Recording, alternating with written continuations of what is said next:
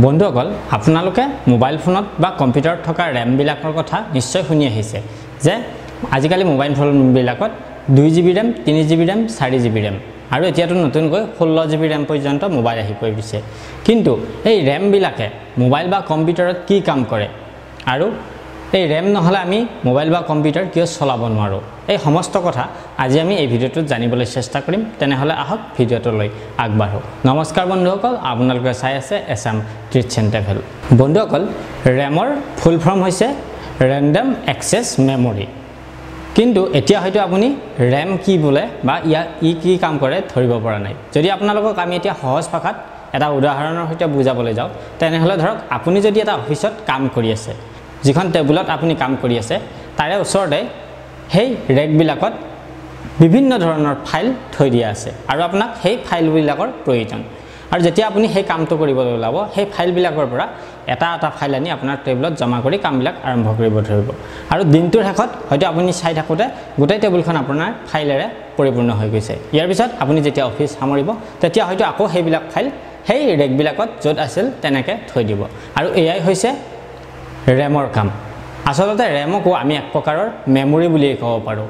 কিন্তু ৰেম অতি ultra fast মানে আমাৰ যিবিলাক হাৰ্ড ডিস্ক বা আমাৰ যিবিলাক নৰ্মেল মেমৰি কাৰ্ড সেই মেমৰি কাৰ্ডবিলাকতকৈ বহু গুণে এই ৰেমৰ স্পীডবিলাক বেছি।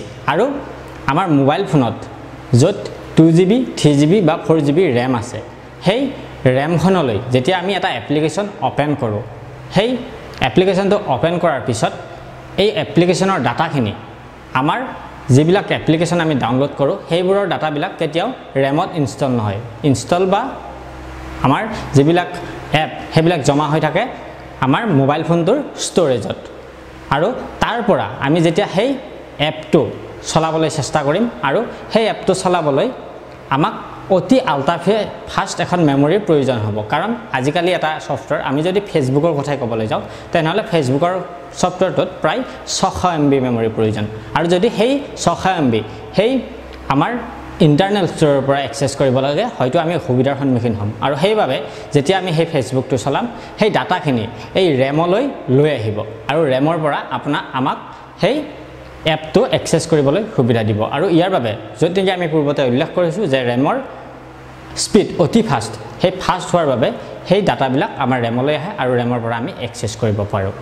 যেতিয়া আমাৰ মাজলৈ স্মাৰ্টফোন আহিছিল তেতিয়া সেই ফোনবিলাকৰ মেমৰি আছিল পাঁচশ বাৰ এম বি আৰু তেতিয়াৰ পৰা এতিয়ালৈ সেই ৰেমবিলাক ডেভেলপ হৈয়ে আছে য'ত two G B three G B four G B আৰু এতিয়াতো নতুন নতুন কিছুমান মোবাইলে ছিক্সটিন জি বি পৰ্যন্ত ৰেম আমালৈ লৈ আহিবলৈ সক্ষম হৈছে। কিন্তু এই ৰেমক বেছি ৰেম আমাৰ মোবাইলত কিয় প্ৰয়োজন? আপোনালোকে হয়তো ভাবিব পাৰে যে বেছি ৰেম হ'লে আমাৰ মোবাইল ফোনটো ফাষ্ট হ'ব। আচলতে এইটো কথা নহয় যে আপোনাৰ মোবাইলটো ফাষ্ট বা শ্ল' ইয়াক ডিপেণ্ড কৰে আপোনাৰ মোবাইলত লাগি থকা প্ৰচেচাৰটোৰ ওপৰত। কিন্তু ৰেম বেছি হ'লে আপুনি যিবিলাক এপ্লিকেশ্যন খুলিব বা এক্সেছ কৰিব সেইবিলাক এপ্লিকেশ্যন আপুনি অতি ফাষ্ট এক্সেছ কৰিবলৈ পাব। বা ইয়াক অতি সোনকালে আপুনি যদি বেছি ৰেম থকা মোবাইল ইউজ কৰে তেনেহ'লে আপোনাৰ সেই এপ্লিকেশ্যনটো খুলিবলৈ বা লোড হ'বলৈ অতি কম সময়ৰ প্ৰয়োজন হ'ব। এতিয়া আপুনি যদি চাই যে টু জি বি ৰেম থকা মোবাইল এটা বা ওৱান জি বি ৰেম থকা মোবাইল এটাত এটা এপ্লিকেশ্যন খুলিবলৈ বহুত সময়ৰ প্ৰয়োজন। কিন্তু যেতিয়া আপুনি বেছি এইট জি বি বা ফ'ৰ জি বি ৰেম থকা এটা মোবাইলৰ সেই এপ্লিকেশ্যনটো অ'পেন কৰিব তেতিয়া আপোনাক সময়ৰ অত্যন্ত কম হ'ব। কাৰণ সেই মেমৰিখনত সেই এপটোৱে ধুনীয়াকৈ কাম কৰিব পাৰে যাৰ বাবে নেকি আপুনি ফাষ্ট সেই এপটো ব্ৰাউজিং কৰিব পাৰিব। আৰু লগতে বেছি ৰেম হোৱাৰ এটা আৰু কাৰণ আছে যে আপুনি বেকগ্ৰাউণ্ডত বহুতো এপ চলাই থ'ব পাৰে। যদি আপুনি পূৰ্বতে one G B RAM use কৰিছিল তেনেহ'লে আপুনি ধৰক ফেচবুকত ছশ এম বি আছে।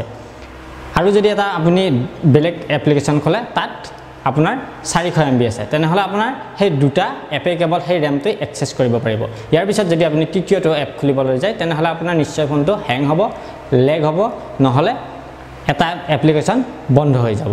যদি আপুনি বেছি ৰেম ইউজ কৰে তেতিয়াহ'লে আপুনি সেই বহুতো এপ্লিকেশ্যন বেকগ্ৰাউণ্ডত চলাব পাৰিব আৰু কোনো সময়ৰ লোড নোহোৱাকৈ আপুনি সেই নতুন এপটো এক্সেছ কৰিব পাৰিব। আৰু এয়াই হৈছে ৰেমৰ কাম।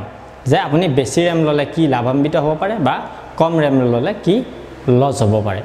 আৰু আজিকালি প্ৰায় আমাৰ মোবাইল ফোন ডেভেলপাৰবিলাকে ইয়াৰ ওপৰত গুৰুত্ব প্ৰদান কৰি প্ৰায় বেছি বেছি ৰেম আমাৰ মাজলৈ লৈ আহিবলৈ সক্ষম হৈছে।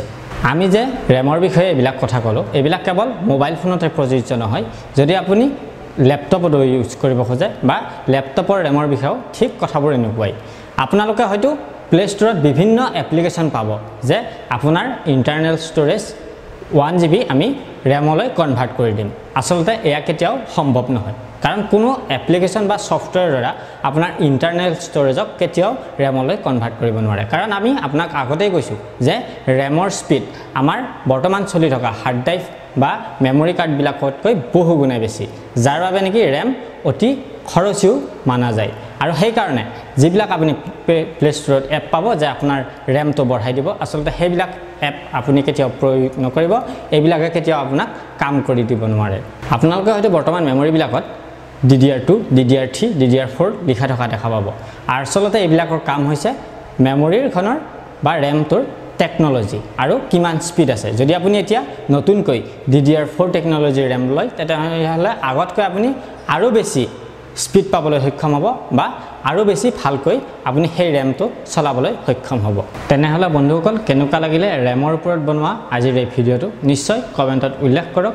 যদিহে ভিডিঅ'টো ভাল লাগিছে তেনেহ'লে লাইক কৰক শ্বেয়াৰ কৰক আৰু চেনেলটি ছাবস্ক্ৰাইব কৰক। কাৰণ আপোনালোকলৈ আমি সদায় এনেকুৱা টেকন'লজি ৰিলেটেড ভিডিঅ' লৈ আহিবলৈ চেষ্টা কৰিম। তেনেহ'লে আজিলৈ ইমানতে এৰিছোঁ। ধন্যবাদ। জয় আই অসম।